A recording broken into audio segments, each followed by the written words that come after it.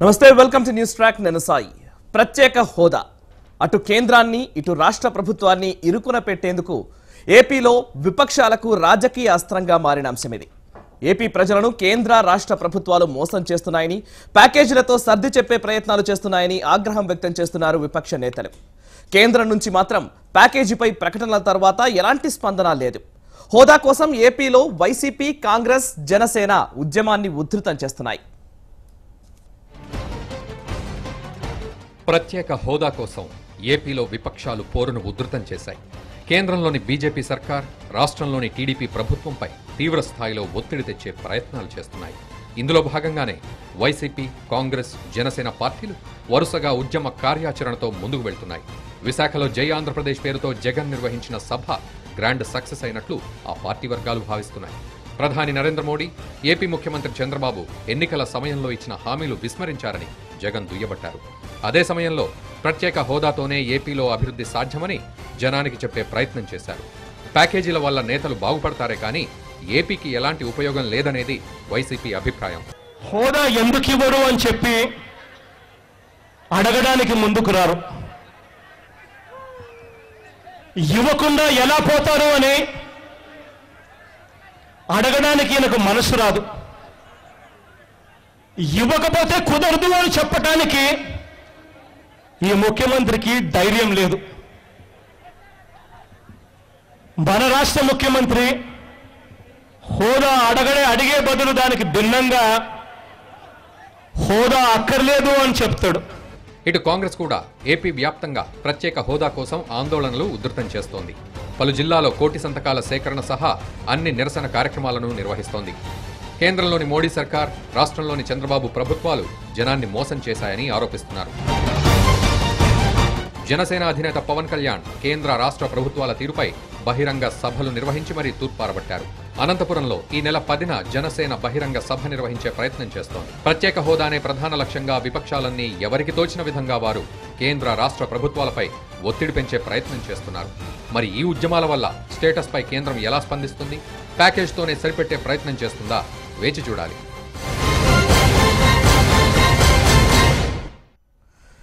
ప్రత్యేక హోదా ఇచ్చే పరిస్థితి లేదు అని కేంద్రం ప్రకటించినప్పటికీ ప్రత్యేక హోదా కంటే ప్రత్యేక ప్యాకేజ్ మెరుగైన అభివృద్ధిని ఏపీలో అందిస్తుందని తెలుగుదేశం పార్టీ నేతలు చెబుతున్నప్పటికీ కూడా ప్రతిపక్షాలు మాత్రం ప్రత్యేక హోదా కావాల్సిందేనంటూ పట్టుబడుతున్న పరిస్థితి కనబడుతోంది.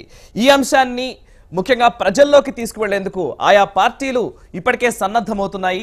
నిన్న విశాఖలో వైఎస్ఆర్ కాంగ్రెస్ పార్టీ భారీ బహిరంగ సభను నిర్వహించింది. జయ ఆంధ్రప్రదేశ్ పేరుతో నిర్వహించిన ఈ సభకు వేలాదిగా ప్రజలు తరలివచ్చారు. అయితే ఆ సభా వేదిక నుంచి వైఎస్ జగన్మోహన్ రెడ్డి సూటిగా అనేక విమర్శలు చేసిన పరిస్థితి అనేక ప్రశ్నల్ని లేవనెత్తారు. ముఖ్యంగా తెలుగుదేశం పార్టీ ప్రత్యేక హోదా గురించి ఎందుకని నిలదీయట్లేదు అంటూ ఆయన అడుగుతూ ఉన్నారు. ప్రస్తుతం ప్రత్యేక హోదా వల్ల కలిగే ప్రయోజనాల గురించి కూడా ఆయన వివరించిన పరిస్థితి కనబడుతోంది. మరోవైపు పదవ తేదీన జనసేన అధినేత పవన్ కళ్యాణ్ మరో సభకు శ్రీకారం చుట్టబోతున్నారు. ఇంతకు ముందు కూడా కాకినాడ వేదికగా కూడా ఆయన ఈ ప్రత్యేక హోదా అంశాన్ని తీవ్రంగా నినదించిన పరిస్థితి కనబడుతోంది. ప్రస్తుతం ప్రత్యేక హోదా గురించి కేంద్రం చేతులు ఎత్తేసినప్పటికీ కూడా ఇది సాధ్యమవుతుందని విపక్షాలు అనుకుంటున్నాయా? లేకపోతే రాజకీయ అస్త్రంగా దీన్ని మలుచుకోవాలని భావిస్తున్నాయా? ఇటువంటి అనేక అంశాలు ఇప్పుడు తెరపైకి వచ్చిన పరిస్థితి. ఈ అంశాల గురించి ఈ రోజు మనం చర్చించబోతున్నాం. ప్రస్తుతం మనతో ఉన్నారు వైఎస్ఆర్ కాంగ్రెస్ పార్టీ సీనియర్ నాయకులు చల్లా మధుసూదన్ రెడ్డి గారు అదేవిధంగా కాంగ్రెస్ పార్టీ సీనియర్ నాయకులు సుందర రామశర్మ గారు బీజేపీ సీనియర్ నాయకులు ఆర్డి విల్సన్ గారు అదేవిధంగా టీడీపీ సీనియర్ నాయకులు గొట్టిపాటి రామకృష్ణ ప్రసాద్ గారు కూడా మనకు ఫోన్ లైన్లో జాయిన్ అవుతున్నారు. నమస్కారం రామకృష్ణ ప్రసాద్ గారు విల్సన్ గారు సుందరరామశర్మ గారు అండ్ మధుసూదన్ రెడ్డి గారు. చర్చకు స్వాగతం. ముందుగా మధుసూదన్ రెడ్డి గారు మీతో స్టార్ట్ చేస్తాను. వైఎస్ఆర్ కాంగ్రెస్ పార్టీ ప్రత్యేక హోదా కావాల్సిందే అని మొదటి నుంచి కూడా నినదిస్తూ ఉన్నది. కాంగ్రెస్ పార్టీ కూడా దానికి మద్దతు ఇస్తుంది ప్రత్యేక హోదాకు సంబంధించి మాట్లాడుతున్నారు. ప్రత్యేక హోదా అనే అంశానికి సంబంధించి మీ కార్యాచరణ విషయానికి వచ్చేసరికి కొంత చర్చ జరుగుతున్న పరిస్థితి కనబడుతోంది. ముఖ్యంగా ఈ బడ్జెట్ సమావేశాల వరకు వేచి చూస్తాం. తర్వాత ఎంపీలు రాజీనామా చేస్తారు. ఆ తర్వాత రెండు వేల పంతొమ్మిది ఎన్నికల అజెండాగా ఈ ప్రత్యేక హోదా అంశాన్ని తీసుకెళ్దాం అనుకుంటున్నారు. ప్రత్యేక హోదా అంశాన్ని ఎన్నికల అజెండాగా తీసుకోవాలనుకోవడం ఇది ఒక రాజకీయ అస్త్రంగా ఉపయోగించుకోవడమా? కేంద్రం చేతులెత్తేసినప్పటికీ కూడా సాధించాలన్న కరెక్ట్ సాధించాలన్న దృక్పథం మీకుందా? లేకపోతే దీన్ని రాజకీయంగా వాడుకోవాలనే ఉద్దేశం ఉందా అన్న ఒక ప్రశ్న లేవనెత్తుతున్నారు టీడీపీ నాయకులు? మీరేం చెప్తారు? ఇప్పుడు ప్రత్యేక హోదా మీద వైఎస్ఆర్ కాంగ్రెస్ పార్టీ ఈరోజు కొత్తగా జయ ఆంధ్రప్రదేశ్ పేరుతో ఉద్యమం స్టార్ట్ చేయలేదు. ఈ రోజు గత రెండున్నర సంవత్సరాలుగా వివిధ రూపాలలో మా పార్టీ ఏదైతే వైఎస్ఆర్ కాంగ్రెస్ పార్టీ రెండు రెండు సంవత్సరాల నుంచి కూడా మొట్టమొదటిగా మా ప్రయత్నం ప్రెసిడెంట్ గారిని కావచ్చు లేకపోతే ప్రైమ్ మినిస్టర్ని కావచ్చు ఇతర ఫైనాన్స్ మినిస్టర్ను హోమ్ మినిస్టర్ని కూడా మా నాయకుడు జగన్మోహన్ రెడ్డి గారు వినతి పత్రాల రూపంలో రిప్రజెంటేషన్ రూపంలో ఇవ్వడం జరిగింది. అప్పటికి కూడా స్పందన లేకపోతే జంతర్ మంతర్ దగ్గర ధర్నాకు కూర్చొని ఒకరోజు అరెస్ట్ అయిన అంటే మోడీ మోడీ అదే ఢిల్లీ జంతర్ మంతర్లోనే మేము ధర్నాలు చేయడం జరిగింది. అంటే ప్రధానమంత్రి మోడీ గారి దృష్టికి తీసుకుపోవాలి గట్టిగా ప్రయత్నం చేయాలన్న ఉద్దేశంతో. తర్వాత ధర్నాలు రాస్తారోకోలు బందులు ఎన్నో రూపాలలో మా ప్రయత్నం చేస్తూ ఉన్నప్పటికీ కూడా మొన్న ఈ మధ్య కాలంలో మనం చూసాం మా పార్లమెంటు సభ్యులు కూడా వెళ్ళకి వెళ్ళి నినాదాలు కూడా ఒక కంటిన్యూస్గా డిస్టర్బ్ చేయడం కూడా జరిగింది. ఎందుకంటే ప్రత్యేక హోదా కంటే వేరేది ముఖ్యం కాదు ఈ ఈ ఆంధ్రప్రదేశ్కి అన్న ఉద్దేశంతో వాళ్ళు సస్పెండ్ చేసినా పర్వాలేదు ఏమి చేసినా కూడా పర్వాలేదు అన్న ఒక ఉద్దేశంతో ప్రత్యేక హోదా కంటే ఏది ముఖ్యం కాదన్న ఉద్దేశంతో అన్ని ప్రయత్నాలు చేయని ప్రయత్నం అంటూ లేదు. అన్ని ప్రయత్నాలు. అభివృద్ధి నిరోధకంగా మారుతున్నాయనే అదే అదే చెప్ప అదే చెప్పబోతుంది అది అది అసలు వాస్తవమే కాదు. అభివృద్ధికి పోరాటాలకు సంబంధమే లేదు ఒక ఒక విషయం. ఇంకోటి ఇంకా యాడ్ చేయాలనుకుంటే మేము యువబేరిక రూపంలో కూడా యువకులని స్టూడెంట్ యువకుల్ని స్టూడెంట్స్ని భాగస్వామ్యం చేయడంలో ఇప్పటికీ అన్ని ప్రాంతాలలో కూడా జగన్మోహన్ రెడ్డి గారు యువబేరి కార్యక్రమాల ద్వారా చైతన్యం చేయడం జరిగింది. సో ఇప్పుడు జై ఆంధ్రప్రదేశ్ పేరుతో అన్ని వర్గాల ప్రజల్ని కూడా చైతన్యవంతులను చేయాలన్న ఉద్దేశంతో సుమారు ఐదు ప్రాంతాలలో చేయాలని అన్ని రీజన్స్లో కూడా చేయాలన్న ఒక ఉద్దేశంతో ఈ ఈ సభలని అంటే గతంలో యువకుల్ని స్టూడెంట్స్ని టార్గెట్ చేసి వాళ్ళని చైతన్యవంతులు చేయాలి. ఇప్పుడు అన్ని వర్గాల ప్రజల్ని కూడా అంటే ఒక ప్రత్యేక హోదానే కాదు ప్రత్యేక హోదాతో పాటు కేంద్ర రాష్ట్ర ప్రభుత్వాల యొక్క వైఫల్యాలు. ఓకే. కూడా right, ఎన్నో. లక్షల ఎన్నో సుమారు ఆరు వందల హామీలు ఆరు వందల హామీలు తెలుగుదేశం ప్రభుత్వం ఇచ్చి ఒక్కటి కూడా ఈరోజు చేయని పరిస్థితి కూడా నిన్న జగన్మోహన్ రెడ్డి గారు చాలా క్లిస్టల్ క్లియర్గా ప్రత్యేక హోదాతో పాటు ప్రభుత్వ వైఫల్యాలను కూడా క్లియర్గా అందరికీ కూడా. అర్థమయ్యేటట్టుగా చెప్పడం జరిగింది. ఈ దీనికి మీరు ఇంతకుముందు చెప్పిన పాయింట్కి వద్దాం. ఈ ధర్నాలు రాస్తారోకాలకి మరి అభివృద్ధి ఆటంకం అనేది అసలు ఏ విధంగా అభివృద్ధి ఆటంకం అనేది అభివృద్ధి చేయాలని వస్తాను ఒకసారి. ప్రస్తుతం విల్సన్ గారు భారతీయ జనతా పార్టీ ప్రత్యేక హోదా ఇచ్చే పరిస్థితి లేదని చాలా కుండబద్దలు కొట్టినట్టుగా తేల్చేసింది. ఆ ప్రకటన మాత్రం అంతే. బట్ ఇప్పుడు మాత్రం ప్రత్యేక హోదా కావాల్సిందేనంటూ ఇక్కడ విపక్షాలు ఉద్యమిస్తున్న పరిస్థితి. ప్రజలు కూడా అందులో భాగస్వాములు అవుతున్నారు. ప్రజల ఆకాంక్షని ఇప్పటికైనా గుర్తిస్తారా? గుర్తించము అని చెప్తారా?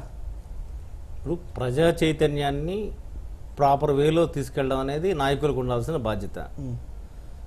ఇప్పుడు ప్రత్యేక హోదా వల్ల ఏం మేలు జరుగుతుందో దాన్ని యాస్టీజ్గా మేము ఇస్తున్నాము ఆల్టర్నేటివ్ మెథడ్లు అని చెప్పి ఆల్రెడీ ప్రకటించాం. రేపు దానికి సంబంధించిన ఒక ప్యాకేజ్ రూపంలో ఒక చట్టబద్ధత కూడా తీసుకొని వస్తా ఉన్నాం రేపు పార్లమెంట్లో కూడా దాని మీద సమావేశాల్లో కూడా దాని మీద డెసిషన్ ఒకటి వస్తుంది. అయితే ఇక్కడ నేనేమంటానంటే ఇప్పుడు ముఖ్యమంత్రి హోదా మీద జరుగుతూ ఉంది రగడ ఆంధ్రప్రదేశ్లో. అంటే మళ్ళీ ముఖ్యమంత్రి కావాలి అంటే మళ్ళీ అంటే మన ముఖ్యమంత్రి కాసే అవకాశం మిస్ అయింది కాబట్టి ముఖ్యమంత్రి కావాలనే ఉద్దేశంతో జగన్మోహన్ రెడ్డి గారు ఆయనకున్న అస్త్ర శస్త్ర అస్త్ర శస్త్రాలన్నింటినీ సంధిస్తున్నారు. అయితే ఇప్పుడు ఈ సందర్భంగా నేను జగన్మోహన్ రెడ్డి గారికి కానీ లేకపోతే స్టూడియోలో ఉన్న మిత్రులకు కానీ నేను చెప్పదలసింది ఏంటంటే తాజాగా రీసెంట్గా రీసెంట్గా పార్లమెంట్లో అదే క్యాబినెట్ తీసుకున్న డెసిషను ఇరవై ఆరు వేల ఆరు వందల ముప్పై కోట్ల పెట్టుబడులు వస్తున్నాయి. యాభై మూడు వేల మందికి ఉద్యోగ ఉద్యోగ అవకాశాలు వస్తున్నాయి. అంటే ప్రత్యేక హోదాతో పని లేకుండానే వీళ్ళందరూ వస్తున్నారు. అంటే నాలుగు భారీ పరిశ్రమలు వస్తున్నాయి. అందులో భాగంగా ఏపీ సీఎం అధ్యక్ష జరిగిన రాష్ట్ర పారిశ్రామిక ప్రోత్సాహక బోర్డు సమావేశంలో ఈ పరిశ్రమలు ఏర్పాటు అదే నాకు చెప్తున్నా.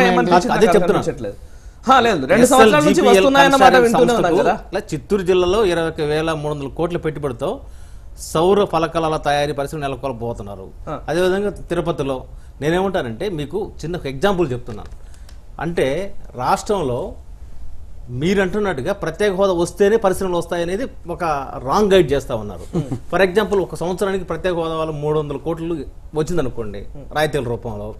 దానికి రెట్టింపు ఇవ్వడానికి కేంద్ర ప్రభుత్వం సిద్ధంగా ఉంది. మరి మీ ఆందోళన దేనికి? ఇది జరగకపోతే ఇది జరగకపోతే రెండు సంవత్సరాలు తర్వాత మీకు ప్రజా ప్రజల్లోకి మేము పోతాం. వాళ్ళు పోతారు. ఇది అన్యాయం జరిగితే అప్పుడు మాట్లాడాలి. ఓకే. ఇప్పుడు అరవై వేల కోట్ల ఇన్కమ్ ఉన్న హైదరాబాద్ కోల్పోయిన తర్వాత తిరిగి హైదరాబాద్ మళ్ళీ ఆంధ్రప్రదేశ్ పునరుజ్జీవనం జరగాలంటే కొంత టైం పడుతుంది. ఓకే. మరి ఆ సహనం ఓపిక ఉండాలి? జగన్మోహన్ రెడ్డి గారు ఆయన భారతీయ సిమెంట్ పెట్టారు లేకపోతే సాక్ష్యాలు పెట్టారు ఇవన్నీ ప్రత్యేక హోదా ఉంటే పెట్టారా? పరిశ్రమ పెట్టేవాడికి కావాల్సింది ఏంటంటే ఎట్ట ఇన్కమ్ సోర్స్ ఇన్కమ్ సోర్స్ ఏ రంగాల్లో వస్తుంది ఏది? ఆ మాట్లాడకండి వాస్తవాలు మాట్లాడండి పెడతారనుకుంటే అది అమాయకత్వం. One minute one minute sir. ప్రత్యేక ప్రత్యేక హోదా వల్ల ఏ రాయితీలు ఇతర ఇప్పుడు ప్రత్యేక హోదా ప్రత్యేక వల్ల అదే. అసలు ఆ మాట మాట్లాడడం ఎందుకు? తీర్మానాలు పెట్టారు. పది సంవత్సరాల నుంచి పది సంవత్సరాలు కావాలని మీరు చెప్పారు? ఎస్ చెప్తున్నాను ప్రత్యేక హోదా వల్ల అదనంగా వచ్చే రాయితీలు ఛత్తీస్గఢ్కి లేకపోతే ఇతర హిమాచల్ ప్రదేశ్కి ఏవైతే వస్తున్నాయో వాటన్నిటిని మీరు చేస్తామంటున్నాం ఇప్పుడు- చేయమంటే కదా సుందరరామ శర్మ గారు, చేస్తామని ఆల్రెడీ మీకు చెప్తాను కదా. ప్యాకేజీ ప్యాకేజ్ అంటున్నాడు. ఇవ్వని ప్యాకేజీ గురించి ప్యాకేజీ ఎట్లా అంటారు? విభజన చట్టం పెట్టిన అంశాలే మీరు ఇచ్చారు. ఆల్రెడీ ఆర్థిక. మంత్రి ప్రకటించాడు. రెండు లక్షల పాతి వేల కోట్లు ఇవ్వబోతున్నాం ఆంధ్రప్రదేశ్కి వెయిట్ చేయండి. సహనం లేకపోవడం వల్ల అన్ని రాష్ట్రాలకు కాదు కాదు. సహనం అనేది ఎవరికి ఉండాలి? రాజకీయ నాయకులకు ఉండాలి. ప్రజలకు ఉండాల్సిన అవసరం కూడా లేదు. జగన్ గారికి ఎందుకంటే ప్రజలకు. అవసరం అది. ప్రజలకు అవసరం. రెండున్నర ప్రతిపక్షంగా మా బాధ్యత ప్రజల. ప్రత్యేక హోదా డిమాండ్ భారతీయ జనతా మాట మరి ఎందుకు- ఇవ్వలేదు? గారు, కాబట్టి దాని గారు. తాలూకు క్రెడిట్ అయినా సుందరామ డెబిట్ అయినా శర్మ గారు. మాకే వస్తుంది. ఎస్ ఇప్పుడు ఒకటేంటంటే మొదట భారతీయ జనతా పార్టీ ఎంతసేపటికి కూడా ఇప్పుడు ఏదో వస్తుందని కాదు. అసలు ఎన్నికల సమయంలో మీరు మాట్లాడింది ఏంటి? ఎన్నికల సమయంలో మీరు మాట్లాడేటప్పుడు లేదా పార్లమెంట్లో ఆ రోజున వెంకయ్యనాయుడు గారు మాట్లాడినప్పుడు మీకు ఈ విషయాలు తెలియవా? లేకపోతే మీకు అజ్ఞానంతో ఆ రోజున వెంకయ్యనాయుడు గారు పది సంవత్సరాలు కావాలని అడిగారా? లేకపోతే ఇంకొంచెం కొంచెం ఎక్కువ తెలివితేటలతో చంద్రబాబు నాయుడు గారు పదిహేను సంవత్సరాలు కావాలని చెప్పని అడిగారా? ఇవన్నీ ఎందుకు అడిగారు? మీరు ఆ రోజున ఎన్నికల సమయంలో మీరు తీసుకున్నటువంటి గారు అడగకపోతే ఈ రోజు మాట్లాడడానికి ఇద్దరు చెప్తాను, పదిహేను సంవత్సరాల పాటు కావాలి అని చంద్రబాబు నాయుడు గారు ఎందుకు అడిగారు?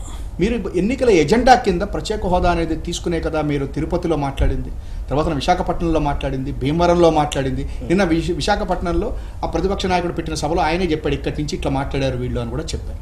మేము ఏం చెప్తా ఉన్నామంటే మీరు ప్యాకేజ్ ఇస్తున్నాము అని చెప్తున్నారు. అది ప్యాకేజీ కాదు సెంట్రల్ అసిస్టెన్స్ మాత్రమే ఇస్తున్నారు మీరు.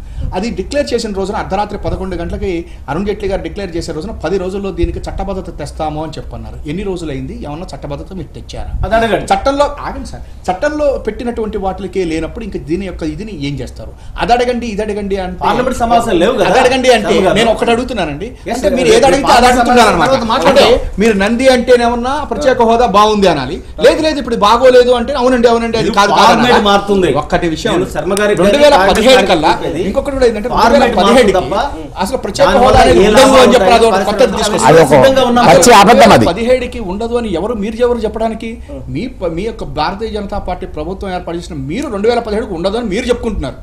మేము. ప్రజలుగా కానీ కాంగ్రెస్ పార్టీ కానీ దాన్ని ఒప్పుకోట్లా. రేపు మేము అధికారంలోకి వస్తే డెఫినెట్గా రాష్ట్రానికి ఇస్తాం. ఆల్రెడీ నీతి ఆయోగ్ నెక్స్ట్ నీతి ఆయోగ్ గురించి మాట్లాడతాం.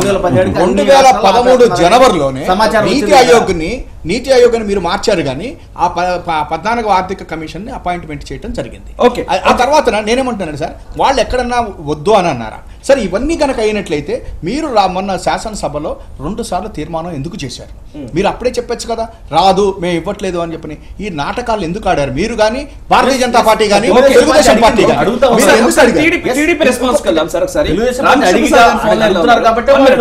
రామకృష్ణ. ప్రసాద్ గారు. నమస్కారం సార్. రామకృష్ణ ప్రసాద్ గారు.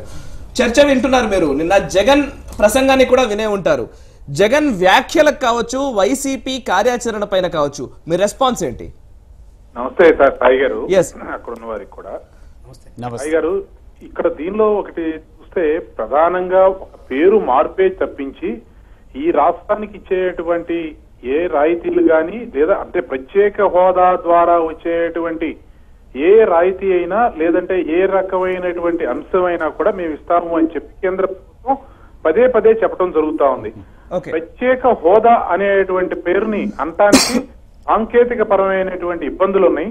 ప్రత్యేకించి ఆ నిధుల కేటాయింపులో మేము కొన్ని సవరణలు లేదా సంస్కరణలు తీసుకొచ్చాం కాబట్టి మీకు దాన్ని వేరే మార్గంలో ఆ మీకు మీకు ఏదైనా వేరే మార్గంలో మీకు దాని గురించి మీకు ఆ విధంగా వచ్చేటువంటి ఆ వనరులు లేదా ఆ అభివృద్ధి ఆ దానికి సంబంధించినటువంటి నిధులు ఆ విధంగా వచ్చే విధంగా చూస్తాము అని చెప్పి చెప్పేటువంటి ప్రకటన అది. అంతేగాని ప్రత్యేక హోదాని మేము వదిలిపెడతాం కాదు. ప్రత్యేక హోదాతో సమానం ఇంకా అవసరమైతే మించి మేము సహాయం చేస్తాము అని చెప్పి చెప్పినటువంటి కేంద్ర ప్రభుత్వం దాని ద్వారా ప్రకటన చేసి దానికి చట్టబద్ధత కూడా తీసుకొస్తాము అని చెప్పి చెప్పారు. అంటే ఆ రోజు ప్రత్యేక హోదా కేవలం పార్లమెంట్లో ఒక ప్రకటన మాత్రమే. ఈ రోజు ప్రత్యేక హోదా అనేటువంటి పదం లేకుండా దాంతో సమానమైనటువంటి నిధులని అన్ని రకాలుగా కూడా ఈ రాష్ట్రానికి సంబంధించిన రాయితీలని right pipeline pipeline అని ఒక మాట కూడా వారు ఉపయోగించారు. పైప్ లైన్లో ఎన్ని నిధులు వస్తున్నాయి? నిజంగా ఈ మొన్న జరిగిన పార్లమెంట్ సెషన్స్లో అరుణ్ జైట్లీ ప్రసంగం తర్వాత ఆ స్టేట్మెంట్ తర్వాత ఇప్పటికి ఎంత పురోగతి కనిపిస్తుంది? చెప్పండి ఒకసారి. ఒక్కసారి అంటే ఇప్పుడు మనం ఎక్కడికి వెళ్ళినా కూడా జగద్విత్తమైనప్పటికీ కూడా ఒక్క నిమిషం. పది సంవత్సరాలు ఆ విధంగా అంటే దీన్ని ఆ సమస్యను మురగబెడతాం వల్ల ఇది సమస్య. ఇప్పుడు ఈ ఈ రాష్ట్రానికి ఆ ఇల్లు తయారు చేసినప్పుడు కూడా వాళ్ళు వాళ్ళు చెప్పింది వాళ్ళు అంటే ఎవరైతే తయారు చేశారో ఆ రోజు అధికారంలో ఉండి వాళ్ళు చెప్పింది ఏవేవైతే రావాలో ఈ రాష్ట్రానికి అది పది సంవత్సరాల సమయం తీసుకోమని చెప్పి చెప్పారు. సంవత్సరం లోపు ఆరు నెలల లోపు చేయమని చెప్పలేదు. కానీ చంద్రబాబు నాయుడు గారు ముఖ్యమంత్రి కావటం వల్ల అనుభవం కలిగినటువంటి పనిచేసే నాయకుడు కావటం వల్ల ప్రత్యేకించి నరేంద్ర మోడీ గారికి ఆ బీజేపీ నాయకత్వానికి అక్కడ ఎన్డీఏ నాయకత్వానికి కూడా ఈ రాష్ట్రం మీద ఒక- అభిమానం ఉండటం వల్ల ఇంకా అధిక మొత్తంలో నిధులని అన్ని రకాలుగా కూడా మనం సమకూర్చుకోవటం జరుగుతా ఉంది. తీసుకురావటం జరుగుతా ఉంది. విద్యా సంస్థలు కానివ్వండి ఇతర సంస్థలు కానివ్వండి చాలా మంది చెప్తున్నారు. ఈ సంస్థ ఏముందండి? ఆ సంస్థ ఏముందండి? అంటే ఎయిమ్స్ లాంటి సంస్థ కావచ్చు.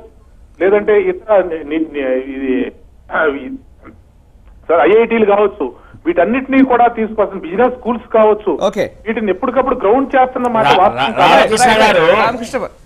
రామకృష్ణ గారు. మీరు ఫస్ట్ పాయింట్ మనసాక్షిని చంపుకొని మాట్లాడకండి. మీరు అన్ని తెలిసి కూడా మీ ఏదో పార్టీ లైన్ చదివి వినిపించినట్టున్నారు చూస్తుంటే వాస్తవంగా మీ దీంట్లో ఏంటంటే మీరు ప్రత్యేక హోదాకు సమానమైన ప్యాకేజీ అన్నారు. ప్రత్యేక హోదాకు సమానమైన package one minute one minute అండి వన్ మినిట్ ఉండండి. ప్రత్యేక హోదాకు సమానమైన ప్యాకేజ్ అనే పదమే లేదు. ఇక్కడ చట్ట విల్సన్ గారు గమనండి ప్రత్యేక ప్యాకేజ్ అనే పదమే లేదు ఇక్కడ చట్ట ఏదైతే చట్టంలో ఏదైతే ఉందో బైఫర్కేషన్ యాక్ట్లో ఏవైతే అంశాలు ఉన్నాయో దానికి సంబంధించిన నిధులు కొన్ని ఇస్తామని చెప్పి ఒక ప్రకటన చేయడం. ఒకసారి ఒకసారి మనకు జనసేన నాయకులు కూడా మన ఫోన్ లైన్లో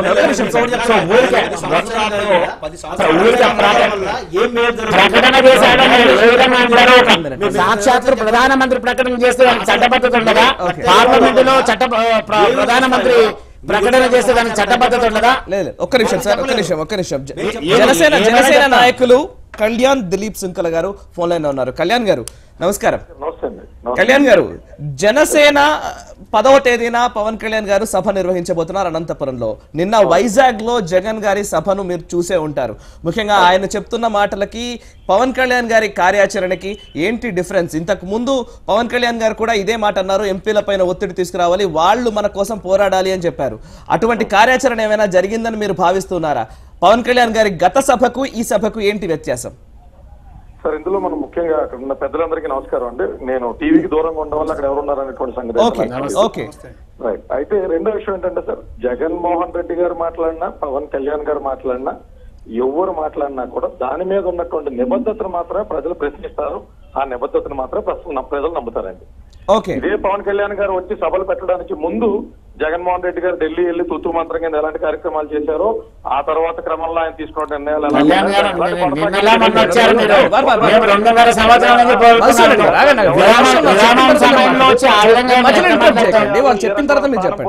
ముఖ్యమైన ఉద్దేశం అవుతుందండి.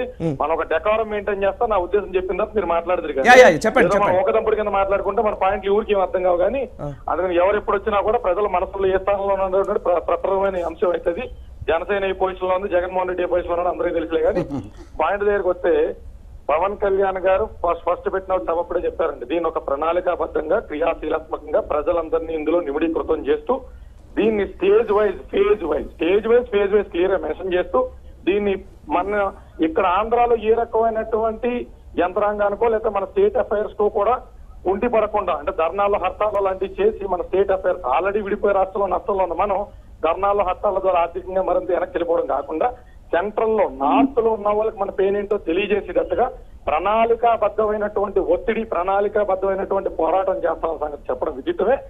ఆ యొక్క దిశగానే ఫస్ట్ సభ నుంచి సెకండ్ సభకి సెకండ్ సభ నుంచి థర్డ్ సభకి డిగ్రీ ఆఫ్ ఎలివేషన్ సార్. ప్రజలందరినీ అర్థమయ్యేటట్టుగా అసలు స్పెషల్ స్టేటస్ మనకి ఎంత అవసరం? ఈ స్పెషల్ ప్యాకేజ్ ఒకవేళ పెద్దలు వెంకయ్యనాయుడు గారు పెద్దలు బీజేపీ పెద్దలు చెప్తున్నట్టుగా స్పెషల్ ప్యాకేజ్తో సమానమైందే అయితే ఈ ప్యాకేజ్ స్పెషల్ కళ్యాణ్ గారు కళ్యాణ్ గారు చిన్న మాట కళ్యాణ్ గారు. నిజంగా చాలా సంతోషంగా ఉన్న విషయం ఏంటంటే పవన్ కళ్యాణ్ గారు సభ పెట్టిన తర్వాత పవన్ కళ్యాణ్ గారు ఏమనుకుంటున్నారో ఓ విశ్లేషణాత్మకంగా మాట్లాడాలంటే మళ్ళీ ఒక విశ్లేషకుల్ని పెట్టాల్సి వచ్చేది. థ్యాంక్ఫుల్లీ జనసేన నుంచి మీరు మాట్లాడుతున్నారు fine but at the same time Pawan Kalyan garu గత సభకి ఇప్పటికి వచ్చిన తేడా ఏంటి? జనసేన ఎంతవరకు ఒత్తిడి తీసుకొచ్చింది? హండ్రెడ్ పర్సెంట్ తేడా ఒత్తిడి తీసుకొచ్చింది కనుక పవన్ కళ్యాణ్ పవన్ కళ్యాణ్ గారు చెప్పిన వెంటనే పవన్ కళ్యాణ్ గారు కాకినాడ సభ తిరుపతి సభ పెట్టగానే ఎప్పుడూ కదలనటువంటి ఈ బీజేపీ యంత్రాంగం రాత్రికి రాత్రులు మీ మీడియా సుముఖంగా ప్రజలెవరికి ఇన్విటేషన్ లేకుండా ప్రజాప్రతినిధి ఎవరిని పిలవకుండా రాత్రికి రాత్రి పెట్టి రాత్రి రాత్రి సభల ద్వారా ప్యాకేజీలు అనౌన్స్మెంట్ చేసింది పవన్ కళ్యాణ్ గారు. ఈ యొక్క సభలు పెట్టిన తర్వాతే సార్ ప్రజలందరూ చూస్తారు మీడియా ప్రముఖులకి మీలాంటి పెద్దలకి అక్కడ కూర్చున్న వాళ్ళందరికీ తెలుసండి. పవన్ కళ్యాణ్ గారు అంటూ వచ్చిన తర్వాతే మన home minister garu central level మినిస్టర్లు వచ్చినా ఎవరు వచ్చినా వీళ్ళంతా కథలకి చేసినా ఈ కాంగ్రెస్ పార్టీ వచ్చి విజయవాడలో మీటింగ్లు పెట్టినా పవన్ కళ్యాణ్ అనే మనిషి ఈ విషయం మీద స్పందించిన తర్వాత మాత్రమే సెంట్రల్ గవర్నమెంట్ యంత్రాంగం కలగడం కదలడము మనకు చెప్పిన ఆ పాచిపోయిన లడ్డూలు ఇవ్వడానికి ఒక్క నిమిషం కళ్యాణ్ గారు ఒక్క నిమిషం కళ్యాణ్ గారు మీకు కాంగ్రెస్ సీనియర్ నాయకులు సుందరాం శర్మ గారు రెస్పాండ్ అవుతున్నారు ఒకసారి. కళ్యాణ్ గారు సార్ నమస్తే సార్. నమస్తే అండి. ఇవాళ పవన్ కళ్యాణ్ గారు ప్రత్యేక హోదా గురించి ఉద్యమం చేస్తున్నందుకు మాకు చాలా సంతోషమే కానీ మీరు కాంగ్రెస్ పార్టీ ఎప్పుడో సంవత్సరంన్నర క్రితమే ఫస్ట్ కోటి సంతకాల ఉద్యమం పోలీస్ స్టేషన్లో ఇవి తర్వాత కేవీపీ రామచంద్రరావు గారు పెట్టినటువంటి ప్రైవేట్ బిల్లుతోటే అసలు తేనె తొట్టె కదిలిందండి. ఇక్కడ మీరు చేయవలసింది ఏంటంటే పవన్ కళ్యాణ్ గారితో ఒక్క నిమిషం అండి. ఒక్క నిమిషం ఒక్క నిమిషం. కళ్యాణ్ గారు ఒక్క నిమిషం నేను చెప్పనండి నేను చెప్పనండి. మీరు ఇందాక అన్నట్టుగా మీరు ఇందాక అన్నట్టుగా మీరు ఇందాక అన్నట్టుగా ఒక్కసారి వినండి. ఇప్పుడు మేము చెప్పేది ఏంటంటే మీరు మీరు ఇప్పుడు కాంగ్రెస్ పార్టీని కానీ వినండి కళ్యాణ్ గారు. ఓకే. కళ్యాణ్ గారు కాంగ్రెస్ పార్టీని కానీ ఇంకొక పార్టీని కానీ మీరు మేము ముందు వచ్చాం మేము వెనక్కి వచ్చాం అనేటువంటిది కాకుండా ప్రతిపక్షాలన్నిటికీ యొక్క కావలసినటువంటిది ప్రత్యేక హోదా మీద మాట్లాడితే మనందరం కూడా బాగుంటుందండి. పవన్ కళ్యాణ్ గారు రావటాన్ని మేము స్వాగతిస్తున్నాం. వినండి పవన్ కళ్యాణ్ గారు కళ్యాణ్ గారు ఒక్క నిమిషం ఒక్క నిమిషం ఒక్క నిమిషం ఒక్క నిమిషం ఒక్క సార్ గారు. Sundar sir, Sundaram Sharma garu. I just want take one point ఒక పాయింట్ తీసుకోవాలని ఒక్క నిమిషం సార్. ఇప్పుడు కార్యాచరణలోకి వచ్చేసరికి ఆంధ్రప్రదేశ్ని ఒకసారి తెలంగాణని రెండింటిని ఒకసారి కంపేర్ చేసి చూస్తే తెలంగాణలో ఏదైతే జరిగిందో ఆంధ్రప్రదేశ్లో కూడా అది జరుగుతుందేమో అనిపిస్తోంది. కొన్ని అంశాల పరంగా. ఎందుకు అంటే కాంగ్రెస్ పార్టీ రెండు వేల నాలుగు ఎన్నికల్లోకి వెళ్ళే ముందు తెలంగాణ ఇస్తామన్న ప్రకటనతో వెళ్ళారు అప్పుడు తెలంగాణకు సంబంధించి ఒక ఉద్యమం మొదలైన పరిస్థితి. అది అలా ఫ్లేరప్ అవుతూ ఫ్లేరప్ అవుతూ అనేక బలిదానాలు జరిగిన తర్వాత ఆ అంశానికి ఒక తుది రూపు తీసుకొచ్చారు. మళ్ళీ అక్కడి నుంచి ఇక్కడ ఆంధ్రప్రదేశ్లో ప్రాబ్లం స్టార్ట్ అయింది. ఇప్పుడు ప్రాబ్లం స్టార్ట్ అయిన దానికి సొల్యూషన్ కేంద్ర ప్రభుత్వం ఇవ్వాలా? తెలుగుదేశం పార్టీ ప్రభుత్వం చెప్పాలా? లేకపోతే ప్రతిపక్షాలు అడుగుతున్న మాటలు రాజకీయంగా వెళితేనే అవుతుందా? ఈ ఈ అనేక అంశాలు ఇప్పుడు ప్రజల్లో గందరగోళం క్రియేట్ చేస్తున్నాయి. ఒకసారి మధుసూదన్ రెడ్డి గారు ఉద్యమ పార్టీ రాజకీయ పార్టీగా తెలంగాణలో అవతరించింది. ఇప్పుడు రాజకీయ పార్టీ ఉద్యమ పార్టీగా రూపాంతరం చెందబోతోందన్న సంకేతాలు వస్తున్నాయి. ఇదే ఇది ఇది- దీన్ని ఎలా చూడాలి అసలు? సి దేని దేని ఎట్లా చూసినప్పటికీ కూడా వాస్తవంగా ఇక్కడ జరుగుతుంది ఏంటంటే వైఎస్ఆర్ కాంగ్రెస్ పార్టీ ఈరోజు కొత్తగా మీరు అన్నట్టు ఏ సభలు కొత్తగా పెట్టింది లేదు. రామకృష్ణ గారు ఇంతకుముందు చెప్పారు కొత్తగా ఈరోజు జై ఆంధ్రప్రదేశ్లో ఏ ఆంధ్రప్రదేశ్ అని పేరు మార్చారు అన్నది. పేరు మా వాస్తవం కాదు మా జగన్మోహన్ రెడ్డి గారి నమ్మకం నిన్న మీటింగ్లో కూడా క్లియర్గా సాధించలేని సాధించలేము అనుకున్న తెలంగాణని పోరాటాల ద్వారా సాధించగలిగారు వాళ్ళు. సో సాక్షాత్తు పార్లమెంటు సాక్షిగా లేదు అందులో పవన్ కళ్యాణ్ గారు అడిగింది ఒకటే ఒకటి. వారు అడిగిన దాని మాట ఏంటంటే. ప్రజాప్రతినిధులు పోరాడండి. ఎందుకు ప్రజల్ని ఇన్వాల్వ్ చేస్తున్నారు? ప్రజల్ని ఎందుకు? నిన్న- ప్రజల్ని ఇబ్బంది పెట్టడం కాదు. ప్రజాప్రతినిధులు పోరాడితే నిన్న నిన్న కూడా జగన్మోహన్ రెడ్డి గారు బహిరంగ సభ సాక్షిగా ప్రజల సాక్షిగా లక్షలాది మంది ప్రజల సాక్షిగా చెప్పడం జరిగింది. ఈ బడ్జెట్ సమావేశాల వరకు శీతాకాల సమావేశాలు అయిపోయిన తర్వాత బడ్జెట్ సమావేశం వరకు వెయిట్ చేద్దాం. అంతవరకు కూడా కేంద్ర ప్రభుత్వంలో కదలిక లేకపోతే మా మా ఎంపీలని రిజైన్ చేసి మళ్ళీ తప్పకుండా ఇదే నినాదంతో బై ఎలక్షన్స్కి వెళ్తామని చెప్పి బహిరంగ బహిరంగంగా చెప్పారు. అంతకంటే ఏం కావాలి. మా ప్రయత్నాలు అన్ని కూడా చేస్తున్నాం. పోరాటాలు చేశాం. Last last option MPs resign. ఒక ఒక క్లారిటీ ఇవ్వాల్సిన అవసరం ఉంది. జగన్మోహన్ రెడ్డి గారి మా మిత్రులు కాదు కాంగ్రెస్ పార్టీ మా మిత్రులు కాదు. వాళ్ళు వైరు పక్షాలు సందేహం లేదు. ఇందా కళ్యాణ్ గారు అన్నట్టు ఆయన మాటలకి నేను దానికి సపోర్ట్ చేస్తున్నాను ఎస్ పవన్ కళ్యాణ్ మాకు ఒక మిత్రుడిగా మా భాగస్వామ్య పార్టీగా ఆయన మాకు మద్దతు ఇచ్చాడు. ఆయన ఇచ్చిన మద్దతు అనేది భారతీయ జనతా పార్టీకి ఉపయోగపడింది తెలుగుదేశం పార్టీ ఉపయోగపడింది తెలుగుదేశం అధికారం రావడం కూడా పవన్ కళ్యాణ్ గారి సపోర్ట్ సహకరించింది. ఆ ఆ మేరకు పవన్ కళ్యాణ్ గారి మీద మాకు పాజిటివ్ అవుట్లుక్ ఉంది. ఎస్ ఆయన చెప్పినట్టుగానే తిరుపతి సభ తర్వాత మేము రెస్పాండ్ అయ్యాం. ఎందుకు రెస్పాండ్ అంటే మన మిత్రుడు ఆందోళన వ్యక్తం చేస్తున్నాడు బాధపడుతున్నాడు. ఎస్ అంతకుముందు జరిగిన ఎక్సర్సైజ్ ఏంటి? అసలు ప్రత్యేక హోదా ఇవ్వచ్చా ఇవ్వకూడదా? ఏంటి పరిస్థితి? మనకుండే ప్రాబ్లమ్స్ ఏంటి అనేది అనే దాని మీద ఒక వంద ఎక్సర్సైజులు జరిగాయి. ప్రధానమంత్రి సమక్షంలో జరిగింది. ఆర్థిక శాఖ మీరు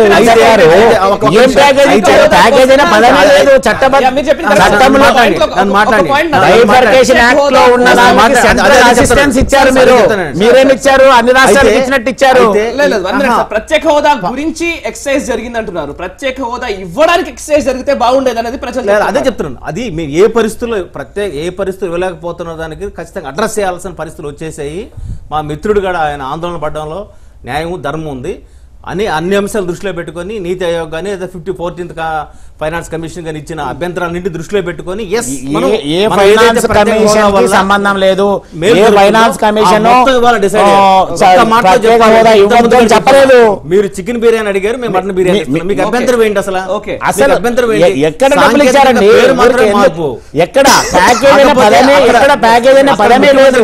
విభజన.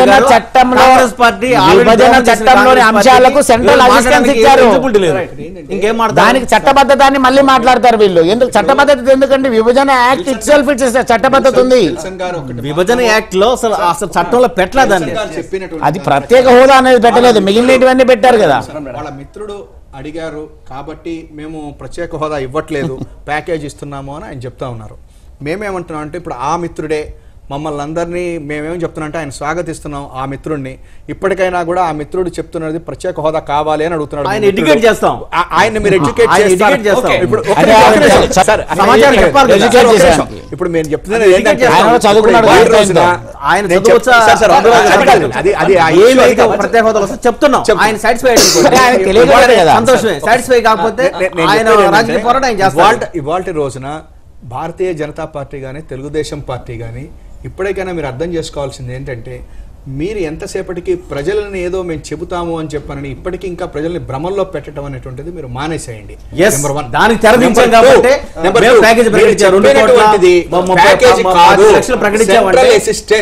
అది కూడా రెండు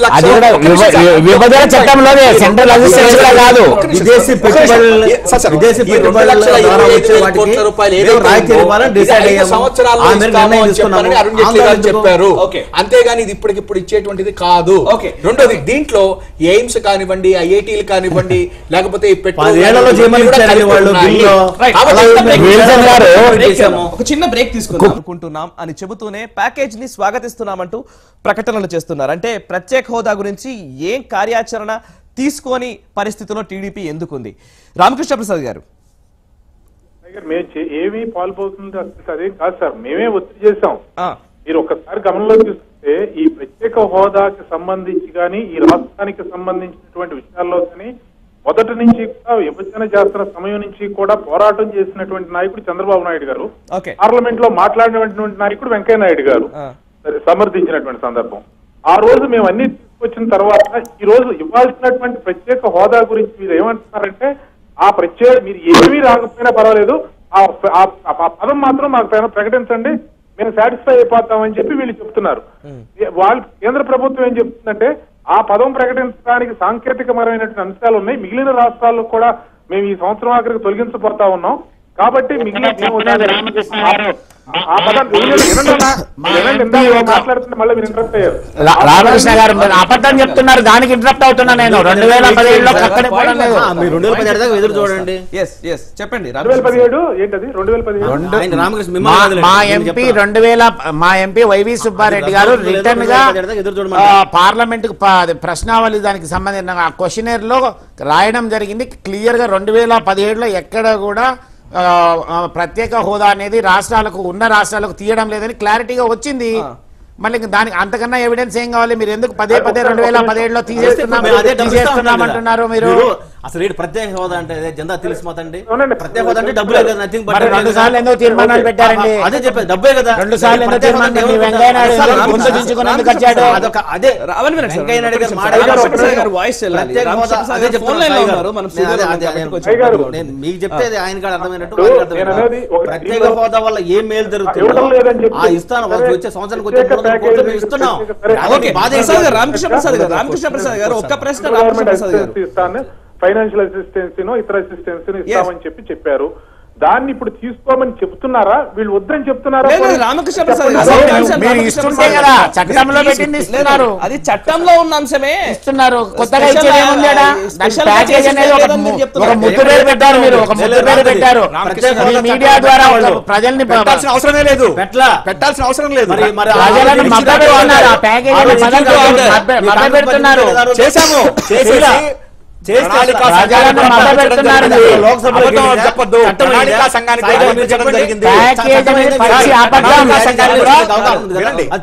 సంఘానికి కూడా పంపించడం జరిగింది. నీతి. ఆయోగ్ కింద మార్చారు. ఇప్పుడు ఒకటి రామకృష్ణ గారు ఏమంటున్నారు. ప్యాకేజ్ ఇస్తా ఉంటున్నారు అది తీసుకోవద్దా అంటున్నారు. ప్రత్యేక ప్యాకేజీ కాదది సార్, ఒక్క నిమిషం. ఒక్క నిమిషం, ఒక్క నిమిషం. నేను గారు, ఇప్పటికి కూడా తెలుగుదేశం పార్టీ చెప్పండి. అసిస్టెన్స్ కూడా విభజన చట్టంలోనే చెప్పండి చట్టం ఇంకొకటి కూడా ఈ రోజు కూడా తెలుగుదేశం పార్టీ ప్రత్యేక హోదా కావాలా వద్దా అనేది ఇప్పటివరకు కూడా ఇంకా చెప్పట్లేదండి. ఒక్క ఏమని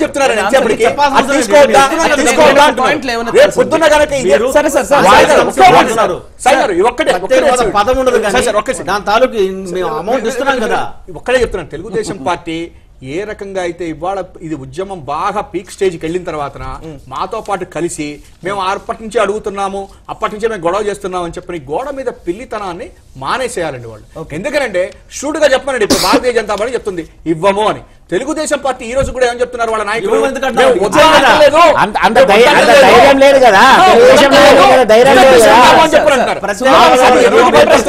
చెప్పండి సుందరం శర్మ గారు.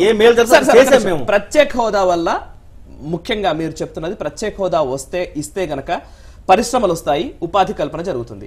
పరిశ్రమలు రావడం వల్ల అభివృద్ధి జరుగుతుంది ఉపాధి వల్ల యువతకు కొంత ఉపాధి దొరుకుతుంది. ఇది కదా? పరిశ్రమలు ఓ, రావడంలో ఆంధ్రప్రదేశ్ నాలుగవ స్థానంలో ఉంది దేశవ్యాప్తంగా అనేది. పరిశ్రమలకు సంబంధించిన సర్వేలు చెప్తున్నమాట అంటే పరిశ్రమలు ఇక్కడికి రావడానికి అనుకూలమైన పరిశ్రమలు. వచ్చినాయి? అనుకూలమైన పరిశ్రమలు. వచ్చినాయి? మరి- నిన్న ఇచ్చినటువంటి ఎన్సీఆర్లో దాంట్లో క్లియర్గా రాశారు.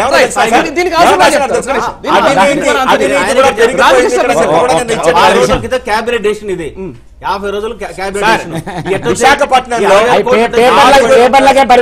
విశాఖపట్నంలో నాలుగు. లక్షల మూడు లక్షల అగ్రిమెంట్లు జరిగినాయి పరిశ్రమల కోసం ఎన్ని పరిశ్రమలు వచ్చినాయి. కూడా రాలేదు. ప్రసాద్ గారు ఎంతమందికి. ఉద్యోగాలు వచ్చినాయి? ఎ- ఎ- ఎంత మందికి ఉద్యోగాలు వచ్చాయని పరిశ్రమలు వచ్చే. పరిస్థితి ఉందా లేదా? పోనీ ప్రత్యేక హోదా కానప్పుడు ప్రత్యేక హోదాను కాంపెన్సేట్ చేసే విధంగా పరిశ్రమల నెలకొల్పడం కానీ ఇవన్నీ జరిగే పరిస్థితి ఉందా? ఈ రోజు ఈ రాష్ట్రానికి సంబంధించి ఇప్పుడు ఆల్రెడీ ఇప్పటికే స్వయం ఉపాధి ద్వారా గాని లేదంటే ఇతర ఉద్యోగాల ద్వారా గాని సుమారు నాలుగు లక్షల మందికి ఉపాధి కల్పించడం జరిగింది సార్. ఆల్రెడీ గ్రౌండ్ అయినటువంటివి ఈ ఇక్కడ ఈ రాష్ట్రంలో ఐదు వందల డెబ్బై ఒకటి ప్రాజెక్ట్స్ ఇప్పటికే గ్రౌండ్ చేయడం కూడా జరిగింది. దీనిలో రామకృష్ణ గారు మీకు అంత ధైర్యం మీరు అంత ధైర్యంగా చెప్తున్నారు కదా ఏపీ డాష్ బోర్డ్లో పెట్టమనండి ఏపీ డాష్ ఏవేవి. ఏవేవి ఉద్యోగాలు ఇచ్చారు ఏ ప్రాంతానికి ఇచ్చారు ఎవరికి ఇచ్చారు? మీరు ఏపీ డాష్ బోర్డ్లో పెట్టండి. ఇప్పుడు ఐదు లక్షల ఉద్యోగాలు ఇచ్చారని రామకృష్ణ గారు చెప్తున్నారు కదా ఏపీ గవర్నమెంట్కి ఒక డాష్ బోర్డ్ అనేది ఒక వెబ్సైట్ ఉంటుంది. ఆ వెబ్సైట్లో పెట్టండి. వాటి మీద ఆర్టీఐ కింద జరిగిందండి. పరిశ్రమలకి వాచ్మెన్. ఉద్యోగాలు సైబర్ ఉద్యోగాలు కాంట్రాక్ట్ ఉద్యోగాలందరినీ కౌంట్ చేసుకుంటున్నారు. మూడు ఏదో ఊరినే అరుపుల కేకలు. రామకృష్ణ ప్రసాద్ గారు రెండు వేల పద్నాలుగు పదహారు మధ్యలో లక్షా నలభై మూడు వేల ఆరు వందల ముప్పై మూడు కోట్ల పెట్టుబడితో ఐదు వందల పదిహేడు పారిశ్రామిక యూనిట్ల ద్వారా వచ్చిన ఉద్యోగాలు ఉపాధి రెండు లక్షల ఇరవై మూడు వేల మూడు వందల అరవై ఐదు మందికి జరిగింది. విద్యాశాఖ మంత్రి చేతుల మీద సారీ ముఖ్యమంత్రి చేతుల మీదుగా ఒకటి ఆరు రెండు వేల పదహారున విజయవాడలో ఉపాధ్యాయుల నియామకాలు అందుకున్న వాళ్ళు ఎనిమిది వేల మూడు వందల ఇరవై ఎనిమిది వేల తొమ్మిది వందల ఇరవై ఆరు మంది. అదేవిధంగా అంగన్వాడీ నియామకాలు రెండు వేల నాలుగు వందల పదిహేను అంగన్వాడీ వర్కర్ల అదనపు అంగన్వాడీ నియామకాలు. అంగన్వాడీ వర్కర్ల నియామకాలు ఏ-? ఇక్కడ ఉపాధ్యాయుల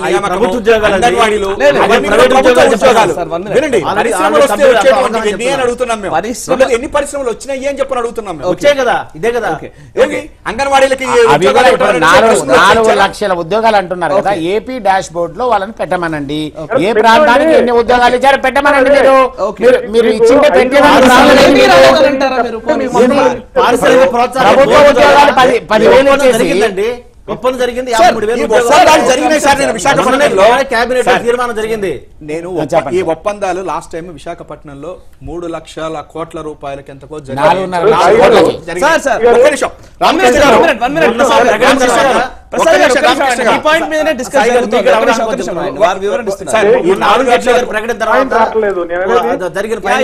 అందరూ అందరూ మాట్లాడడం వల్ల నిజంగా కూడా క్లారిటీ ఉంటుంది క్లారిటీ ఒక్కొక్కరు నాలుగు లక్షల కోట్లకి జరిగింది సార్. దీని మీద మా కాంగ్రెస్ పార్టీకి సంబంధించిన ఆర్టీఐ లక్ష్మీనారాయణకి చెప్తే మన మా నాదెండ్ల మనోహర్ గారు నిన్న విశాఖ మన విజయవాడలో ఒక ప్రెస్ మీట్లో అవన్నీ డిక్లేర్ చేశారు. ఏమనంటే ఒక్కళ్ళకి ఉద్యోగం రాలేదని ఆర్టీఐ తరఫున మేము అప్లై చేస్తే వచ్చింది అది మేమేమెవరు చెప్పట్లా నాదెండ్ల మనోహర్ గారు చెప్పలేదు. ఏమని చెప్పారంటే వాళ్ళు అడిగినటువంటిది ఆర్టీఐ కింద వచ్చినటువంటి చదివారు. చదివితే నాలుగు లక్షల కోట్లలో ఒక్క పరిశ్రమ కూడా రాలేదు. ఒక్క ఉద్యోగం కూడా దీని నుంచి రాలేదు అని ఆర్టీఐ చట్టం ద్వారా మాకు వచ్చింది అది కూడా తప్ప. రామకృష్ణ గారు చెప్పమనండి. మధుసూదన్ రెడ్డి- మధుసూదన్ రెడ్డి గారు ఒక్క ఒక్క పాయింట్. ప్రత్యేక హోదా అనేది అంశం. ప్రత్యేక హోదా ఉంటే పరిశ్రమలు వస్తాయి. లేకపోతే రావు. మిగతా రాష్ట్రాల్లో ప్రత్యేక హోదా లేని రాష్ట్రాల్లోకి పరిశ్రమలు రావట్లేదా? అంటే ఇప్పుడు ఆంధ్రప్రదేశ్ పరిస్థితి చాలా భిన్నంగా ఉంది వేరే రాష్ట్రాలతో పోలిస్తే. ఎందుకంటే మన కొత్త రాష్ట్రం మనకు ఎటు మొత్తము ఉన్న ఇండస్ట్రీస్ అన్ని కూడా తెలంగాణకి వెళ్ళిపోవడం జరిగింది. Ninety five percent IT industries కావచ్చు లేదంటే ఫిఫ్టీ పర్సెంట్ ఫార్మా ఇండస్ట్రీస్ కావచ్చు. National council of applied economic survey ప్రకారం. నాలుగో స్థానంలో పరిశ్రమలకు అనుకూలమైన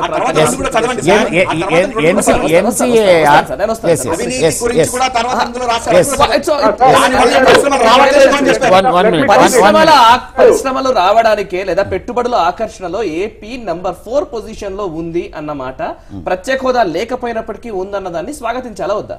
సిసి ఖచ్చితంగా ఇప్పుడు అది అంకెల గారెడి తప్పితే ఏమీ లేదు. దాంట్లో ఎటువంటి వాస్తవం లేదు. ఎందుకంటే సర్వేని కూడా మనం అంటే సర్వే ఒక ఇండస్ట్రీ రాకుండా రెండున్నర సంవత్సరంలో ఒక ఇండస్ట్రీ రాకుండా ఒక ఉద్యోగం రాకుండా ఏ విధంగా ఫోర్త్ పొజిషన్కి వస్తుంది జస్ట్ కామన్ సెన్స్ అండి అది కామన్ సెన్స్ అది అదే సర్వే అది ఎన్సీఏఆర్. అదే ఎన్సీఏఆర్ తెలుగుదేశం పా- దానికి తెలుగుదేశం పార్టీ వాళ్ళు ఏమన్నారంటే ఆ సర్వే సరైంది కాదు అని చెప్పి వాళ్ళే చెప్పడం జరిగిందండి. ఓకే. అంతకు ముందు ఆయన మొదటి స్థానం రెండో స్థానం నుంచి ఏడో స్థానానికి దిగజారేశారు కల్లా. అది అసలు చట్టబద్ధత లేదు దానికి. అది ఎవరు చేశారో అసలు వాళ్ళు దేని మీద చేశారో అని వదిలేశారండి. ఓకే. ఇప్పుడు దీనికి కూడా మీరు ఏమంటున్నారంటే నాలుగో స్థానంలో ఉంది అని చెప్పని చెప్తున్నారండి. ఓకే. మేమేం అడుగుతున్నామంటే దాని మీద నాలుగో స్థానంలో ఉన్నప్పుడు ఏ ఏ పరిశ్రమలు ఈ రాష్ట్రంలో వచ్చినాయో చెప్పమని చెప్తున్నా కదా. ఎంత మందికి ఉద్యోగాలు వచ్చినాయో చెప్పమనండి. ఆగమని చెప్పండి శర్మ గారిని. సరే ఇది మూడు నాలుగు రోజుల క్రితం మేము అరుణ్ జైట్లీ ప్రకటన తర్వాత వచ్చిన స్టేట్మెంట్ కేబినెట్ పచ్చ జెండా. ప్రైవేట్ రంగంలో నాలుగు భారీ పరిశ్రమల ఏర్పాటుకు ఏపీ ప్రభుత్వం ఆమోద ముద్ర వేసింది. ఇవి రాష్ట్రంలో ముప్పై వేల కోట్ల రియాలిటీ చెప్పేది ఎవరు? ఏపీసీ అధ్యక్షుడు జరిగిన రాష్ట్ర పారిశ్రామిక బోర్డు సమావేశంలో ఈ పరిశ్రమల ఏర్పాటుకు ఆమోదం తెలిపారు అన్ని ఆమోదాలు. S L S L G C L consortium సంస్థ చిత్తూరు జిల్లాలో ఇరవై ఒక్క వేల కోట్లతో పెట్టుబడితో. సౌర పరికరాల. తయారీ నెల- నెలకొల్పనుంది తిరుపతి సమీపంలో Dixon technologies India private limited నూట యాభై కోట్లతో యూనిట్ ఏర్పాటు చేసింది గారు, అనిల్. అంబానీకి చెందిన చదివినా సంస్థ పత్రికలో కాదు. ఇది ఇది నేను చెప్పేది ఇప్పుడు ఇప్పుడు. ఇప్పుడు ఆయన అప్లై. చేయమనండి ఆర్టీ యాక్ట్ నుంచి ఐ అండర్స్టాండ్ ఐ అండర్స్టాండ్ ఒక్క నిమిషం విల్సన్ గారు వన్ మినిట్ వినండి నా మాట వినండి ఒక్క నిమిషం మేము ప్రకటించిన తర్వాత వచ్చిన output ఇది. ఆంధ్రప్రదేశ్ కష్టాల్లో ఉంది నష్టాల్లో ఉంది తీవ్రమైన అన్యాయం జరిగింది ఆంధ్రప్రదేశ్ అనే మాట అందరూ అంగీకరిస్తారు కదా అందుకే కదా మేము ఇచ్చింది నా మాట విన్న తర్వాత మీరు చెప్పండి ఆ. కష్టాల్లో ఉన్నదాన్ని ఆదుకోవడం కోసం ఈ ప్యాకేజీ లేదా కాంపెన్సేషన్ ఏదైనా సరే మాట. ఏదైనా కావచ్చు. అప్పుడు చెప్పిన ప్రత్యేక హోదా అనే అంశమే అనుకుందాం ప్రత్యేక హోదా ని దానివల్ల ఒక ఒక- ఒక పేరును పక్కన పెడితే మిగతా అన్ని ఇస్తున్నామంటున్నారు. ఆ పేరును యాడ్ చేయడం వల్ల నష్టం ఏంటి? అదే కదా రెండు వేల పదిహేడు ఆగిపోద్దని చెప్పని ఆగిపోతుందని ఎవరు చెప్పట్లేదు ఆన్సర్ అండి. ఎక్కడ ఏ తొమ్మిది రాష్ట్రాల్లో. ప్రత్యేక హోదా డిమాండ్లు ఉన్నాయనేది మాకున్న. మిగతా రాష్ట్రాల్లో ప్రధానమంత్రి. మోడీకి వెంకన్న మన- జగన్మోహన్ గారి ఎజెండా ఏంటి? ఆయన వల్లే. ఆయన వల్లే ఆయన వల్లే రాష్ట్రం విడిపోయింది. మధుసూదన్ గారు మీకు తెలుసు లేదు. ఆయన వల్లే రాష్ట్రం విడిపోయింది. ఇంక విడిపోయిన రాష్ట్రానికి ముఖ్యమంత్రి చేయండి. అబద్ధాలు రాష్ట్రం రాజధాని? రాష్ట్ర ఆయన ఆపుతా. ఉన్నారు. నువ్వు రెండు వేల పదిహేడులో క్లోజ్ అవుతుంది. అసలు ప్రత్యేక హోదా ఉండట్లేదు అనేది ఒక బహిరంగంగా. కేంద్ర మంత్రి ప్రకటన చేసిన సందర్భం ఉందా? రెండు వేల పదిహేడులో ఆగినా ఆకపోయినా ప్రత్యేక హోదా ఆంధ్రప్రదేశ్ ఐదేళ్ళ పాటు ఒక్క నిమిషం మధు గారు. ఐదేళ్ళ పాటు మేము ఏదైతే పార్లమెంట్లో ఆ రోజు ఆ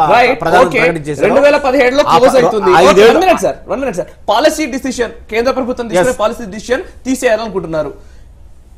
ఆంధ్రప్రదేశ్కి ప్రత్యేక హోదా ఇచ్చిన తర్వాత రెండు వేల పదిహేడులో తీసేయండి. నేను మీకు- సంవత్సరం రెండు సంవత్సరాల తర్వాత అప్పుడు అందరితో పాటు ఇప్పుడు ఫ్లేర్ అప్ అవ్వడం ఎందుకు ఇష్యూని ఫ్లేర్ అప్ చేయడం వల్ల ప్రజలు ఇబ్బంది నా పడుతున్నారు. పాయింట్ అసలు మీరు క్యాచ్ చేయడంలా. రెండు వేల పది రెండు వేల పదిహేడులో తీసేసినప్పటికి కూడా ప్రత్యేక హోదా ఐదేళ్ళ పాటు అమలు అవుతుందని ఏదైతే మన్మోహన్ గారు ఆ రోజు పార్లమెంట్లో చట్టంలో పెట్టకపోయినా అమలు అనౌన్స్ చేశారో దానికి భారతీయ జనతా పార్టీ కట్టుబడింది కాబట్టి ఐదు సంవత్సరాల పాటు ప్రత్యేక హోదా ద్వారా వచ్చే ఏ నిధులు వస్తాయో వాటన్నిటిని ఇవ్వడానికి కాంపెన్సేట్ చేయడానికి మేము సిద్ధంగా ఉన్నాం అని చెప్తున్నాం ఇక రెండు వేల పదిహేడులో ఆగిపోయింది అనుకోండి ఆగిపోయినప్పటికీ నిధులు వస్తాయి. ఇస్తారు మీరు? ఇది ఆల్రెడీ చట్టబద్ధ చేస్తున్నాం కదా.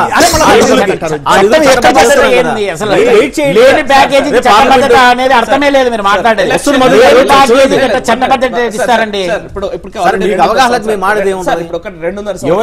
అవగాహన లేదని అర్థమవుతుంది రెండున్నర సంవత్సరాలు ఇప్పటికే గడిచిపోయింది.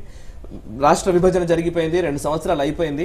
మరో రెండున్నర సంవత్సరాలు అయితే మూడు సంవత్సరాలు అయిందంటే ఇంకొక వన్ అండ్ హాఫ్ ఇయర్ అయిందంటే ఎలక్షన్ ఇయర్ స్టార్ట్ అయిపోతుంది. ఇప్పటికే ఇప్పటి నుంచే ఆ ఎలక్షన్ ఇయర్ కోసం రంగం సిద్ధం చేయడానికి అన్ని పార్టీలు సిద్ధమవుతున్నాయా అనే ఒక ప్రశ్న ముఖ్యంగా వస్తున్న పరిస్థితి కనబడుతుంది. ఎలక్షన్ అజెండా కాకుండా నిజంగా చిత్తశుద్ధి ఉంటే ప్రత్యేక హోదా కోసం ఏం చేస్తారు? ప్రత్యేక హోదా ఎప్పటిలోపు సాధించగలుగుతారు? సార్ ఇవాళ ఒకటే ఒకటి. నిజంగా ఇవాళ చంద్రబాబు నాయుడు గారు ముఖ్యమంత్రి గారికి ప్రత్యేక హోదా కావాల్సిందే ఈ రాష్ట్రం కావాలి అని కనుక ఆయన అనుకునేటట్లయితే ఇవాళ కాంగ్రెస్ పార్టీ ఉన్నటువంటి మేము ప్రైవేట్ బిల్లు పెట్టిన కేవీపీ గారికి ఆ రోజున ఎట్లయితే నేను సపోర్ట్ చేస్తున్నాను అని చెప్పని చెప్పి అక్కడికి వెళ్ళిన తర్వాత సుజనా చౌదరి గారు బల్లలు కొత్తేసేసి వెళ్ళిపోయాడు. ఆ పద్ధతులు అవలంబించకుండా ఇప్పటికైనా సరే ముందుకొచ్చి అన్ని ప్రతిపక్షాలను కూడా కలుపుకొని నరేంద్ర మోదీ గారి దగ్గరికి వెళ్ళి ఢిల్లీలో ఈ ప్రత్యేక హోదా అనేటువంటిది ఈ రాష్ట్ర ప్రజల యొక్క సెంటిమెంటు దీన్ని మీరు అవలంబించి లేదా పా- చేయవలసిందే అని చెప్పాలి.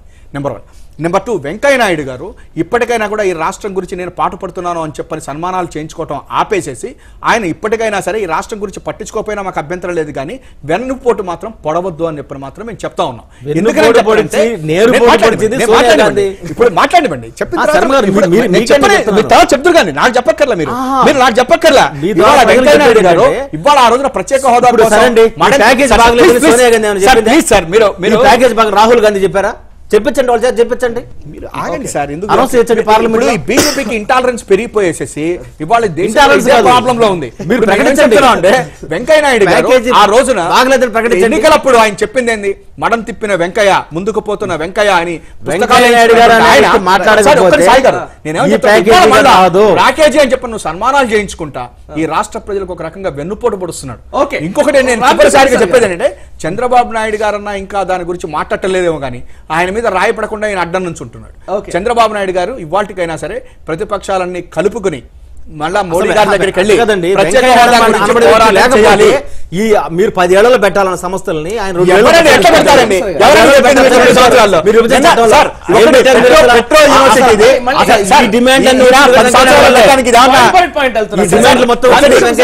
రామకృష్ణ ప్రసాద్ గారు రామకృష్ణ ప్రసాద్ గారు సార్, ముఖ్యంగా ఇప్పుడు విపక్షాలు ఏదైతే చెప్తున్నారో ప్రత్యేక హోదా మేము కూడా కావాలని కోరుతున్నామని మీరు కూడా అంటున్నారు. సరే వస్తున్న నిధుల్ని లేదా ప్యాకేజీల్ని దాన్ని ఆహ్వానించాలని చెబుతూనే ప్రత్యేక హోదా కూడా కావాలని కోరుతున్నారు. ప్రస్తుతం విపక్షాలకు సంబంధించి ముఖ్యంగా జనసేనతో సహా జనసేన ఇప్పుడు పదో తారీఖు నాడు సభ నిర్వహించబోతున్నారు. ఇంతకుముందు సభలో కూడా ప్రత్యేక హోదా అంశాన్ని ఆయన తీవ్రంగా ప్రస్తావించారు. ఇప్పుడు జనసేనకు కావచ్చు వైసీపీకి కావచ్చు కాంగ్రెస్ నాయకులకు కావచ్చు ఏం చెప్పాలనుకుంటున్నారు? కలిసి వస్తామంటారా? మీ పార్టీకి మీరు చేసుకోండి అని చెప్తారా? జనసేనకు సంబంధించి మాది మిత్రపక్షం అది దాని గురించి మాట్లాడేప్పుడు ఇప్పుడు వీళ్ళు ఎవరిని కలుపుకెళ్ళమంటారు ఈ ప్రతిపక్ష వాళ్ళు? మీరు చెప్పండి సార్. రాష్ట్రాన్ని అడ్డగోలుగా విభజించి మేము అన్యాయం చేశాము జరిగిందేదో జరిగిపోయింది మాకు లెంపలు వేసుకుంటున్నాం కానీ ఇప్పుడు న్యాయం చేస్తాము అని చెప్పి చెప్పేవాళ్ళ లేదు ఈ రాష్ట్ర ప్ర- తన తన మీరు నేను ఉత్తరం ఇచ్చాను రెండు వేల ఎనిమిదిలో ఉత్తరం ఇచ్చాను. తెలంగాణను విభజించమని చెప్పారని చంద్రబాబు నాయుడు గారు వెనక్కి తీసుకుంటారా? రెండు నాలుగల ఈ సిద్ధాంతం రెండు నాలుగు మీరు రెండు వేల ఎనిమిదిలో నేను లెక్క ఇచ్చాను. చంద్రబాబు నాయుడు ఉన్నారు సార్, సార్, ప్లీజ్. ఇప్పుడు ఫోన్ లైన్లో విభజన. గురించి ఇంకా మాట్లాడటం అనవసరం సార్. ప్రసాద్ గారు ప్రసాద్ గారు. ఎస్ నేను అనేది అది. మీరు ఏ- ఏం- ఏం సూచిస్తారు ఇప్పుడు పోనీ? మాట్లాడాలంటే అంతకంటే ఎక్కువ మాట. ఇప్పుడు ఆ- మాట కూడా చెప్పమన్నాను. ఇప్పుడు అధికార ప్రతినిధిగా రామ్ శర్మ గారిని కేవలం కాంగ్రెస్ చంద్రబాబు గారి లెటర్ వల్లే మేము మేము అలా ఇచ్చాము. మేమంతా కూడా పది సంవత్సరాలు మా పరిపాలన చంద్రబాబు గారి వల్లే జరిగిందనేది చెప్పమని పోనీ. అదో అదొకటి. అంతేగాని తెలంగాణ ఇస్తున్న చెప్పారు అది తప్పు కదా. సరే ఎనివే నేను ఇక దాని గురించి పోట్ల. అంటే మీరు కలుపుకెళ్ళమన్న దానికి చెప్తున్నాను సార్. వీళ్ళని కలుపుకెళ్తే ప్రజలు మమ్మల్ని అరిచేస్తారు ఇప్పుడు. ముద్దాయి ఎవరైతే ఉన్నారో ఆ ముద్దాయిని కలుపుకుని ఆ మనం అయిందేదో అయిందని చెప్పానంటే అది న్యాయ అది అసలు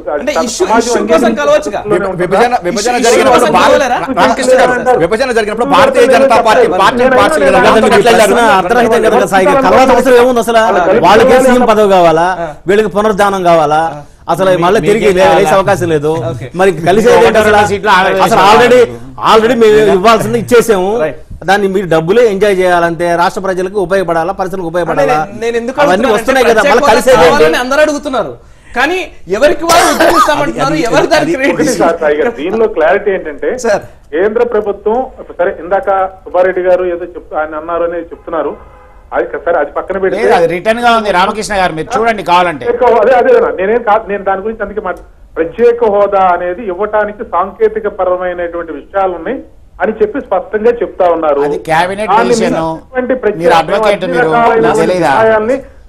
tell, రాయితీల్ని మేము ఇస్తాము అని చెప్పి చెప్తా ఉన్నారు. మేము. అనేది ఏమంటే ఆ పదం బదులు ఇవన్నీ ఇస్తామంటున్నారు కదా రాష్ట్ర ప్రయోజనాల కోసం అవి తీసుకుంటే తప్పే ఉంది అని చెప్పి మేము చెప్తా ఉన్నాం. ఇప్పుడు? మీరు చెప్పినట్టుగానే అదే నేను చెప్- వాళ్ళు ఉన్నట్టుగానే ఆ, ఇది ఒకవేళ ప్రత్యేక హోదా కావాలని మాత్రమే ఈ రాష్ట్రానికి ఎగ్గొడితే కేంద్ర ప్రభుత్వానికి గతంలో ఉన్నటువంటి కాంగ్రెస్ పార్టీకి ఏ పరిస్థితులు వచ్చి తెలుసు అందరికి. నేను అనేది. కేవలం మోసం చేయటం కోసం చేయటం వేరు. విధానాలని మార్పులు సంస్కరణల కోసం చేయటం వేరు. ఈ రెండిటిలో ఏది ఎంచుకుంటారు అనేది అది మీరు అన్నట్టుగా అన్ని రాష్ట్రాలకి ఉంచి ఆ ఈ ఒక్క రాష్ట్రానికి ఇవ్వడానికి ఇబ్బంది ఉంది? ఏదైతే ఆ మన్మోహన్ గారు ఐదేళ్ళు ప్రకటించారో ఇప్పుడు క్లారిటీ ఇస్తారు చెప్పిన వారికి కూడా దాంట్లో వారికి కూడా క్లారిటీ వీరికి కూడా క్లారిటీ నన్ను. ఐదేళ్ళు ఏదైతే ఆ రోజు మన్మోహన్ సింగ్ గారు ప్రకటించారు ప్రత్యేక హోదాని వాటి అన్నింటిని ఇస్తున్నాం. ఇంకొక ఐదేళ్ళు కూడా మోడీ గారే ప్రధానమంత్రిగా ఉంటారు. ఇంకొక ఐదేళ్ళు కూడా అవన్నీ కొనసాగిస్తాం. ఎవరు ఆందోళన పడాల్సిన అవసరం లేదు. ఇప్పుడు రామకృష్ణ గారు చెప్పింది ఏంటంటే ప్రత్యేక హోదా ఇచ్చేదానికి సాంకేతిక కారణాలు అంటున్నారు. సాంకేతిక కారణాలు అంటే వాళ్ళ దృష్టిలో ఏంటంటే ఫోర్టీన్త్ ఫైనాన్స్ కమిషన్ రికమెండ్ చేయలేదనో లేకపోతే నీతి ఆయోగ్ రికమెండ్ చేయలేదు ఏవో ఇవన్నీ కారణాలు చెప్తున్నారు. ఫోర్టీన్త్ ఫైనాన్స్ కమిషన్ సభ్యుడే క్లియర్గా రిటర్న్గా ఇవ్వడం జరిగింది. Fourteenth finance commission no way related to special status. మేము ఓన్లీ కేంద్ర రాష్ట్ర ప్రభుత్వాలకు సంబంధించిన పన్నులను విభజించడం అనేది చెప్పడం జరిగింది. పేరు కోసం. నీతి ఆయోగ్ గానీ లేకపోతే ఫోర్టీన్త్ ఫైనాన్స్ కమిషన్ గానీ అసలు ప్రధానమంత్రి ఒక. హోదా ఇవ్వచ్చు. ఒక ఒకటే-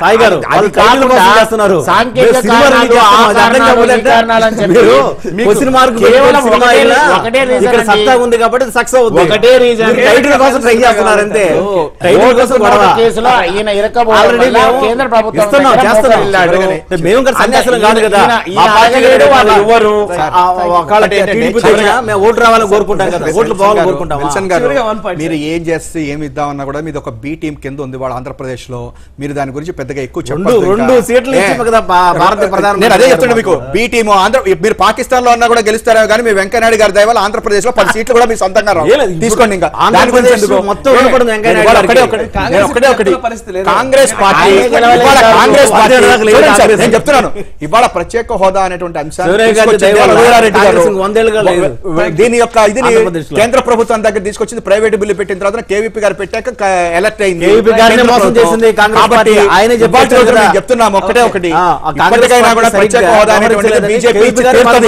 బీజేపీ అనౌన్స్ చేసి తీరుతుంది తెలుగుదేశం పార్టీ అనౌన్స్ చేసి తీరాలి ఆ రకంగా ఉద్యమాలు చేస్తాము ఇవాళ ఇంకొకటి కూడా ప్రత్యేక హోదా అనేది మీరు ఏ రకంగా. మేము అదే అంశాన్ని రేపు రెండు వేల పంతొమ్మిది ఎన్నికల్లో తీసుకుంటాం. కాంగ్రెస్ పార్టీ గెలిచి తీరుతుంది. అప్పుడు మేము ప్రత్యేక హోదా డెఫినెట్గా ఇస్తాం లేదు కదా. శర్మ గారు అండ్ విల్సన్ గారు. uh, చల్లా మధుసూన్ రెడ్డి గారు గొట్టిపాటి రామకృష్ణ ప్రసాద్ గారు ఫోన్ లైన్ ద్వారా మీరు అందుబాటులోకి వచ్చినందుకు థ్యాంక్ యూ వెరీ మచ్ ప్రత్యేక హోదా అంశం గురించి అందరూ డిమాండ్ చేస్తూ ఉన్నారు. అయితే ఇది రెండు వేల పంతొమ్మిది ఎన్నికలకు ఎజెండాగా మారే పరిస్థితి కనబడుతోంది. స్పష్టంగానే కనబడుతోంది. భారతీయ జనతా పార్టీ ప్రత్యేక హోదా ఇవ్వడానికి సాంకేతిక కారణాలు ఉన్నాయని స్పష్టం చేస్తున్నప్పటికీ ఈ ఉద్యమాన్ని ప్రజల్లో రేకెత్తించడం వల్ల రాజకీయ పార్టీలు లబ్ధి పొందాలని చూస్తున్నాయా? లేకపోతే నిజంగా సాధించి ప్రయోజనాల్ని ప్రజలకు అందించాలని చూస్తున్నాయా? ఈ అంశానికి సంబంధించి ప్రజలే న్యాయ నిర్ణేతలుగా ఉంటారు.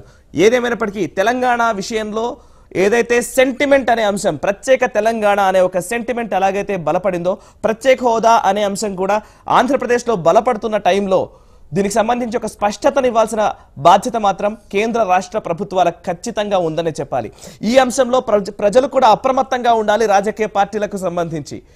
కాల్ మార్క్స్ చెప్తూ ఉంటాడు ఒకే ఒక మాట history repeats itself first as tragedy then as farce మొదలు విషాదంగా ముగిసింది. కానీ ఇప్పుడు అభాసుపాలు కాకుండా రాజకీయ పార్టీల నాయకులందరూ కూడా ఉండాలని కోరుకుంటూ ఈ చర్చను ముగిద్దాం. చూస్తూనే ఉండండి భారత్ టుడే. దేశం కోసం ధర్మం కోసం.